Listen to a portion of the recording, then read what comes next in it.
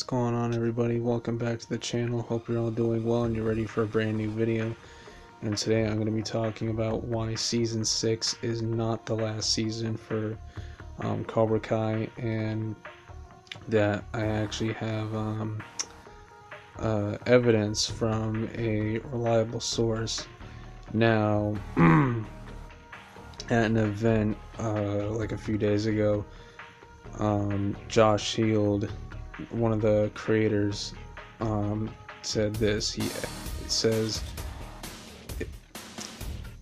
"We have a few more seasons already planned out." Now, this to me means that um, that you know a few more, um, you know, meaning I think it'll go to season seven or eight. This is telling me that season six is not the last season.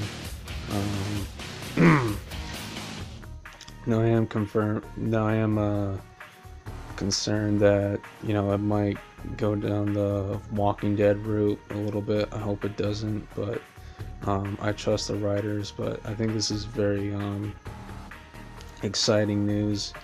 Um, can't wait for season five. I can't wait to see season six and beyond. Um, I would like it to stop at um, season eight, but it could stop at season seven. Who knows? But um, yeah.